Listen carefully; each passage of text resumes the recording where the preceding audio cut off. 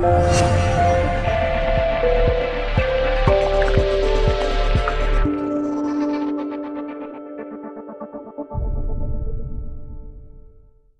guys, this is Dan with Off Leash Canine Training Georgia, here with my newest board and train Blue.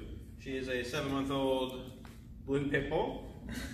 she has no major issues, no major complaints. She just doesn't really have any manners, pulls on the leash, doesn't really listen. Uh, she did one lesson with off leash, uh, but then they decided to switch to the board and train. Uh, so we'll see if she retained anything from her first lesson. Blue, come. Good girl. Sit. Sit. Sit. Sit. Down. You know down. Can you do down? Yep. Blue here. Yep. Alright, so she definitely remembered the come and sit. Doesn't really know anything else. So we got her squared away on and off leash, distraction proof. Check back on Blue's progress in two weeks.